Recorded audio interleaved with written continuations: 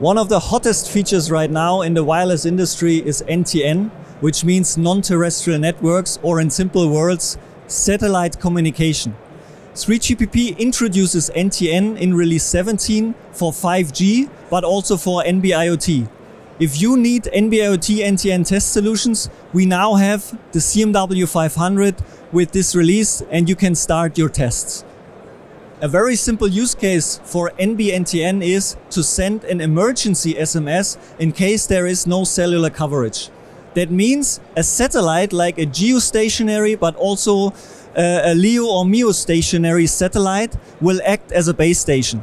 The CMW 500 in this case is the base station simulator and the device will get the location data from our SMBVB uh, signal generator the whole solution will come in a uh, in, in an integrated test environment, which you can simply use right now to test NB-NTN capable smartphones or chipsets.